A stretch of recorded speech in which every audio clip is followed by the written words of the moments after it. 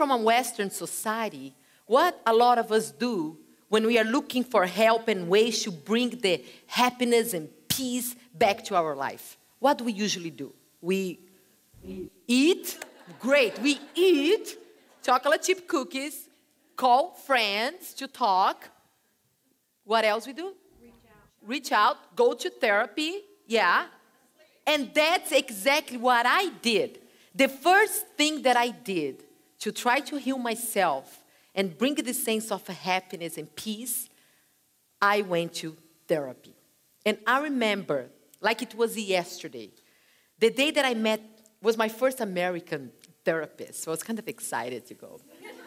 and, and I remember that in her office, she had this really unique couch that was so unique that I didn't know if it was for me just to sit on it or just to look at it and take some pictures and you know because it was really unique and she opened the door and here was the couch and for you to picture i'm talking about i got a similar couch just to show you truly bring the couch can you please bring the couch Thank you. Thank you. Thank you. So I sat on the couch and I started talking about, you know, my problems, that I was feeling lost, that I was feeling overwhelmed, that I didn't know what to do.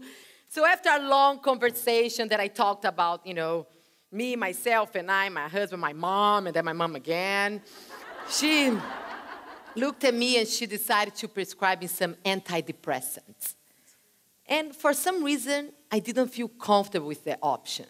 Not that I thought there was a wrong option or something, but something inside of me said, you know what, I'm going to look for other options, other alternatives to bring the peace and happiness back to my life. So I remember that I went to a bookstore and I was looking for a book that would kind of inspire me. And I found this really wonderful book about happiness written by a Buddhist monk. And he talked about in his book how it's important for us to find time to sit down and meditate. And I remember that I loved so much that book that I was like, you know what? I'm gonna apply. And I that time I was a stay-at-home mom. So I was trying to meditate between changing diapers, doing the laundry, trying to find the perfect but not so sexy babysitter. and you know, and I was trying to meditate. I was trying to meditate, and after an exhausting and not successful result, I realized that even though I loved the book, even though I know the amazing benefits of meditation, even though I have an immense respect for Eastern philosophy, I couldn't help myself thinking that Buddha didn't have PMS.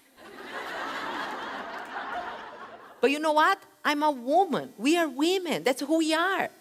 So that's when I start my journey to find ways and practical ways to feel healthier, happier, powerful, sexier, even with my crazy schedule and my crazy PMS.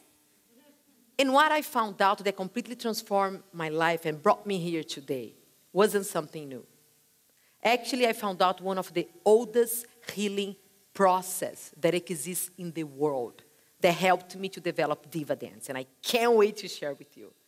All over the world, in a lot of Indian tribes and African villages, if you look for a healer to help you with your problems, most of them, they're not going to look at you and say, you know, sit down on the couch, talk about your problems, I'm going to prescribe you a pill. No. Do you know most of those healers would do? They would say to you, get off the couch.